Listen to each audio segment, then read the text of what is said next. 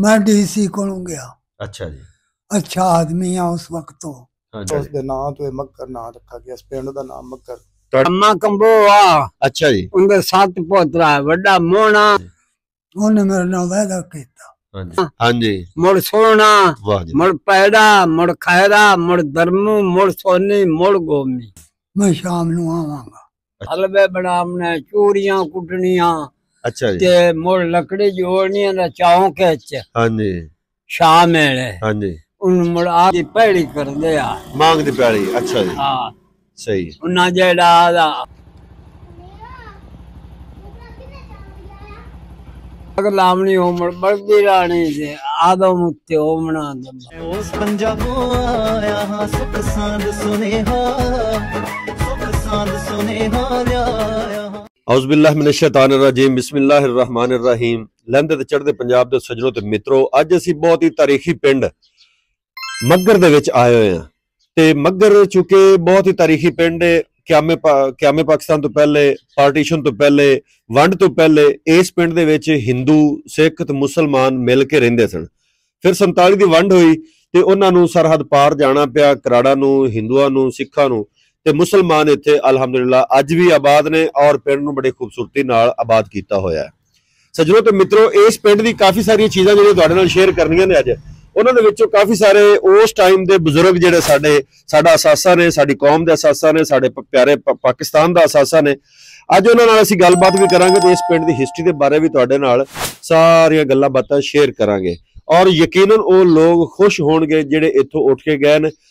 ਅਗਰ ਉਹ ਆਪ ਜਿੰਦੇ ਹੋਏ ਵੀਡੀਓ ਵੇਖਣਗੇ ਖੁਸ਼ ਹੋਣਗੇ ਅਗਰ ਉਹ ਆਪ ਨਾ ਵੀ ਜਿੰਦੇ ਹੋਏ ਤੇ ਉਹ ਲਾਜ਼ਮੀ ਆਦੇ ਵਤਨ ਨੂੰ ਯਾਦ ਕਰਦੇ ਹੋਏ ਹੀ ਕਬਰੀ ਗਏ ਨੇ ਤੇ ਉਹਨਾਂ ਦੀ ਔਲਾਦ ਲਾਜ਼ਮੀ ਅੱਜ ਇਹ ਵੀਡੀਓ ਵੇਖੇਗੀ ਤੇ ਖੁਸ਼ ਹੋਏਗੀ।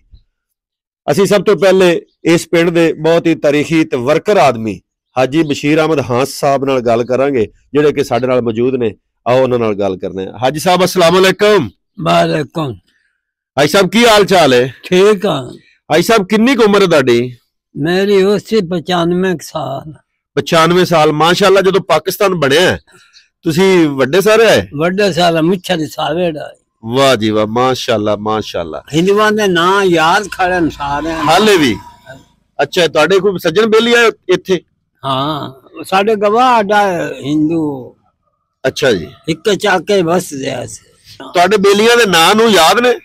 بےلیاں یاد نیلیاں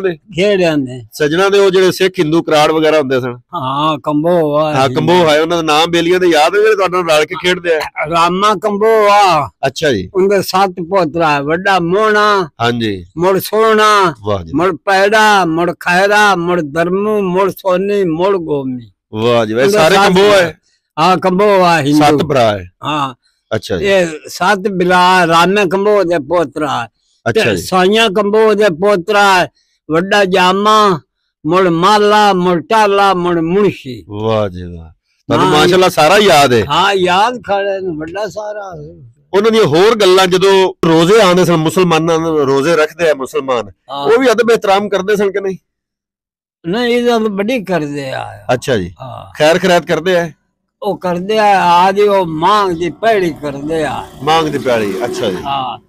ਸਹੀ ਉਹਨਾਂ ਜਿਹੜਾ ਦਾ ਹਲਵੇ ਬਣਾਉਣੇ ਚੂਰੀਆਂ ਕੁੱਟਣੀਆਂ ਅੱਛਾ ਜੀ। ਤੇ ਮੁੜ ਲੱਕੜੀ ਜੋੜਨੀਆਂ ਦਾ ਚੌਂਕੇ ਚ ਹਾਂਜੀ। ਸ਼ਾਮ ਵੇਲੇ। ਹਾਂਜੀ। ਉਹਨੂੰ ਮੁੜ ਆਗ ਲਾਵਣੀ ਉਹ ਮੁੜ ਬਲਦੀ ਰਾਣੀ ਦੇ ਆਦਮ ਉੱਤੇ ਹੋਮਣਾ ਦੰਦਾ। ਮੱਚ ਬ- ਬਲਦਾ ਰਹਿਣਾ ਤੇ ਲੋਕਾਂ। ਸੇਕਦਾ ਰਹਿਣਾ ਗੱਪਾ ਛੱਪਾ ਮਾਰਦੇ ਰਹਿਣਾ ਹਾਂ ਉਹ ਨੰਦਾ ਮੁੜ ਆ ਨਾ ਹਿਸਾਬ ਕਿਤਾਬ ਹਿੰਦੂਆਂ ਦਾ। ਹਾਂਜੀ। ਤੇ ਤੁਸੀਂ ਉੱਥੇ ਪੜ੍ਹਦੇ ਰਹਿੰਦੇ? ਤੁਹਾਡੇ ਬੇਲੀ ਵੀ ਕੋਈ ਨਹੀਂ ਪੜ੍ਹੇ? ਤੁਸੀਂ ਅਸਲੋਂ ਹੀ ਨਹੀਂ ਪੜ੍ਹੇ ਨੇ ਨਹੀਂ ਮੈਂ ਤਾਂ ਬੇ ਬੇ ਨਹੀਂ ਪੜਿਆ ਮੈਂ ਤਾਂ ਮੈਂ ਸਮਝ ਆਈ ਤਾਂ ਮੈਂ ਹੀ ਦੇ ਮਗਰ ਲੈ ਉਹਨਾਂ ਨਾ ਹੁਣ ਇੱਥੇ ਰਕਬਾ ਹੈ ਹਾਂ ਇੱਥੇ ਜ਼ਿੰਮੇਵਾਰੀ ਕਰਦੇ ਜੇ ਹਾਂ? ਜ਼ਿੰਮੇਵਾਰੀ ਕਰਦੇ ਜੇ ਮੈਂ ਕਿਹਾ ਦਿੱਤੇ ਛੁਆਰਾਂ ਨੂੰ ਕਿ- ਦੋ ਦੋ ਡੂਢ ਡੂਢ ਕਿੱਲਾ ਵਾਂਡ ਤੇ ਅੱਛਾ ਜੀ ਤਰਾ ਛੁਆਰ ਤੁਹਾਡੇ ਕਿੰਨੇ ਬੱਚੇ ਨੇ ਤਰਾ ਕੀ ਨਾਂ ਇਹਨਾਂ ਦਾ ਵੱਡਾ ਸਰਬੋਰਾ ਗੱਭਰੂ ਉਹ ਮਰ ਗਿਆ ਅੱਛਾ ਜੀ ਬਾਕੀ ਦੋ ਹੈ ਅਨਵਰ ਤੇ ਮਜ਼ਾਰ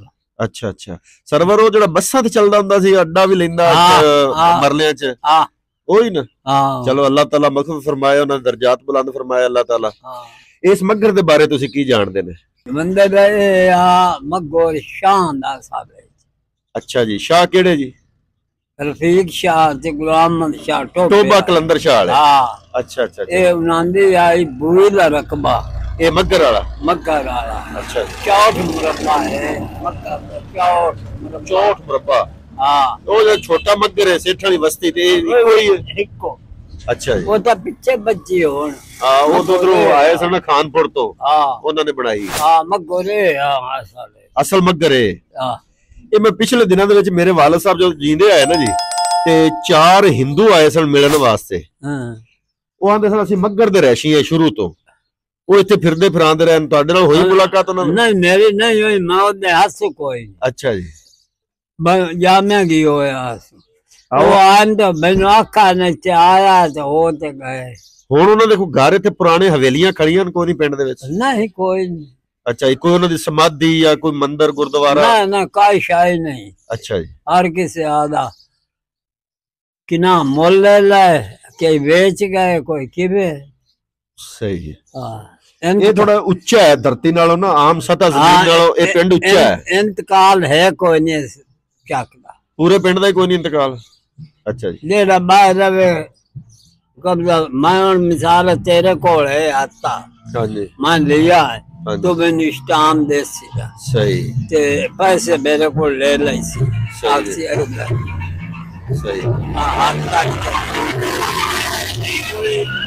ਆਖਸੀ ਅਰਗਾ ਸਹੀ ਹਾਂ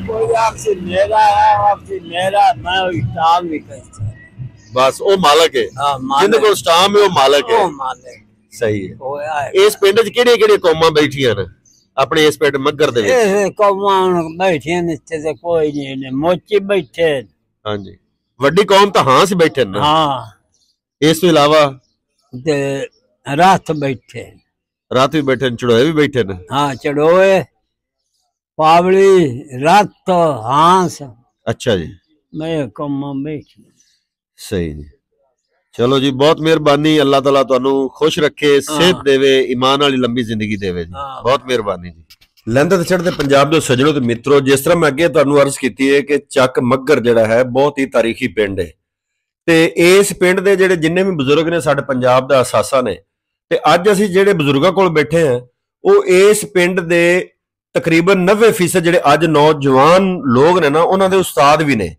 ਮੇਰੀ ਮੁਰਾਦ ਸਰ ਜੀ ਬਹਾਦਰ ਅਲੀ ਹਾਂਸ ਸਾਹਿਬ, ਜਿਨ੍ਹਾਂ ਨੇ ਕਾਫੀ ਲੰਬੀ ਚੌੜੀ ਟੀਚਿੰਗ ਦੇ ਵਿੱਚ ਖਿਦਮਤ ਸਰ ਅੰਜਾਮ ਦਿੱਤੀਆਂ ਨੇ ਔਰ ਦਰਸੋ ਤਦਰੀਸ ਦੇ ਸ਼ੋਬੇ ਨਾਲ ਮੁਨਸਲਿਕ ਰਹੇ ਨੇ।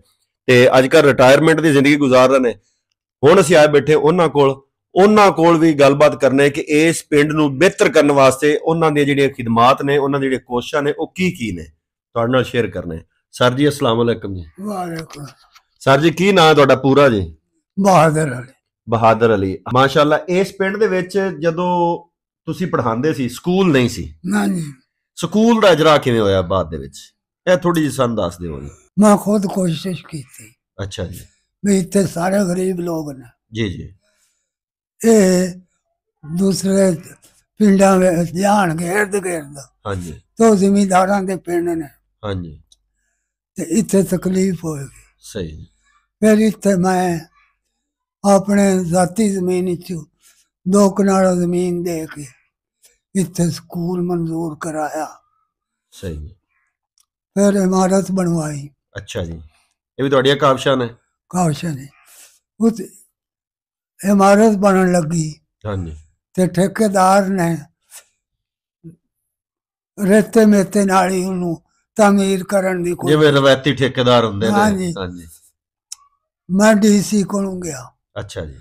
ਅੱਛਾ ਆਦਮੀ ਆ ਉਸ ਵਕਤ ਤੋਂ। ਹਾਂਜੀ। ਉਹਨੇ ਮੇਰੇ ਨਾਲ ਵਾਅਦਾ ਕੀਤਾ। ਹਾਂਜੀ।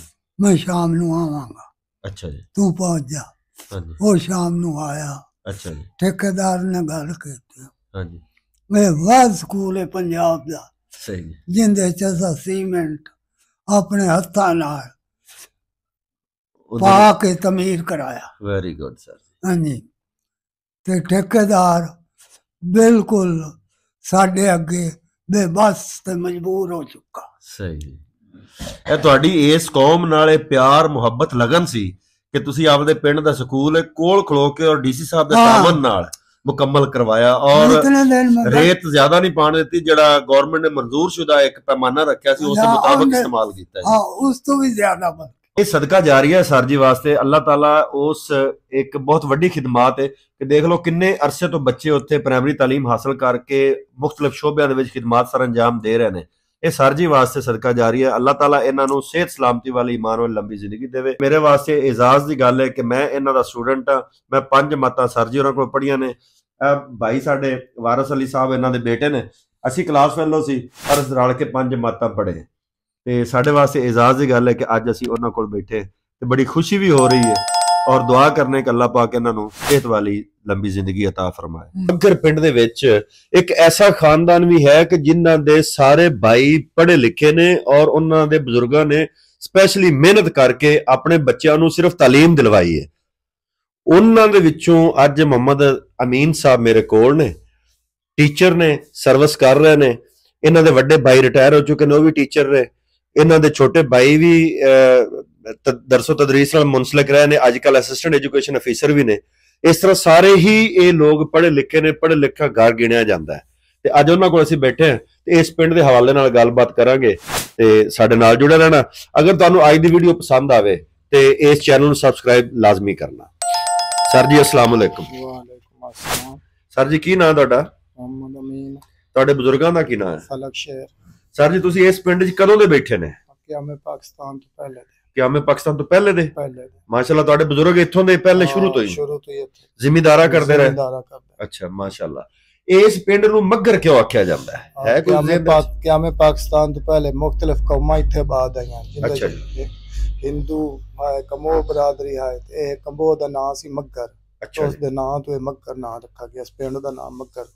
ਤੁਹਾਡੇ ਕਹਿਣ ਦਾ ਮਕਸਦ ਹੈ ਕਿ ਇੱਥੋਂ ਦੇ ਜਿਹੜੇ ਸਨ 47 ਤੋਂ ਪਹਿਲੇ ਆਬਾਦ ਸਨ ਕੰਬੋ। ਇੱਥੇ ਜ਼ਿਮੀਦਾਰਾ ਵੀ ਕਰਦੇ ਸਨ। ਉਹਨਾਂ ਦੇ ਵਿੱਚੋਂ ਇੱਕ ਵੱਡਕਾ ਸੀ ਉਹਨਾਂ ਦਾ ਜਿੰਦਾ ਨਾਮ ਮੱਗਰ ਸੀ। ਔਰ ਇਹ ਰਕਬਾ ਫਿਰ ਜ਼ਾਹਿਰ ਬਾਤ ਹੁੰਦਾ ਹੀ ਹੋਣਾ ਜਿਹੜਾ ਨਾਮ ਪਾਕਿਸਤਾਨ ਪਹਿਲੇ ਹੋ ਸਕਦਾ ਉਹਨਾਂ ਦਾ ਹੀ ਹੋਏਗਾ। ਉਹਨਾਂ ਦਾ ਹੀ ਹੋਏਗਾ। ਤੇ ਮੱਗਰ ਉਹਦੇ ਨਾਂ ਤੋਂ ਸੀ। ਉਹਦੇ ਨਾਂ। ਸਹੀ ਹੋਗਾ ਤੇ ਉਸ ਤੋਂ ਬਾਅਦ ਜਦੋਂ 47 ਤੋਂ ਬਾਅਦ ਚਲੇ ਗਏ 47 ਵਾਲੇ ਚਲੇ ਗਏ ਉਧਰ ਆਪਣੇ ਸਰਹੱਦ ਪਾਰ ਚਲੇ ਗਏ। ਉਸ ਤੋਂ ਬਾਅਦ ਕਿਹੜੀ ਕੌਮ ਸਭ ਤੋਂ ਜ਼ਿਆਦਾ ਇੱਥੇ ਕਾਸ਼ਤਕਾਰ ਹੋਈ? ਉਸ ਤੋਂ ਬਾਅਦ ਇਹ ਰਕਬਾ ਮਤਲਬ ਸੈयद ਰਫੀਕ ਸ਼ਾਹ ਤੇ ਗੁਲਾਮ ਮੁਹੰਮਦ ਸ਼ਾਹ ਬਹਾਵਲ ਨਗਰ ਕਲੰਦਰ ਟੋਬਾ ਕਲੰਦਰ ਸ਼ਾਹ ਦੇ ਰਹਿਸ਼ੀਅਨ ਉਹਨਾਂ ਕੋਲ ਚਲਾ ਗਿਆ ਉਹਨਾਂ ਦੇ ਕੋਲ ਚਲਾ ਗਿਆ। ਸਹੀ ਹੋ ਇਸ ਗਿਆ। ਤੋਂ ਬਾਅਦ ਉਹ ਮਤਲਬ ਕਾਸ਼ਤ ਕਰਨ ਲੱਗ ਗਏ। ਸਹੀ। ਇਸ ਪਿੰਡ ਦੇ ਵਿੱਚ ਕੋਈ ਕੋਈ ਉਹਨਾਂ ਦਾ ਇਬਾਦਤਗਾਹ ਕੋਈ ਉਹਨਾਂ ਦੀ ਜਾਂ ਕੋਈ ਗੁਰਦੁਆਰਾ? ਨਹੀਂ ਇਬਾਦਤਗਾਹ ਤਾਂ ਕੋਈ ਨਹੀਂ ਲੇਕਿਨ ਉਹਨਾਂ ਦੇ ਸੇਵੇ ਵੀ ਜਿੱਥੇ ਮੁਰਦੇ ਉਹ ਜਲਾਉਂਦੇ ਆ ਜਲਾਉਂਦੇ ਆਪਣੇ, ਆ ਹਾਂ। ਉਹ ਅੱਜ ਵੀ ਹਨ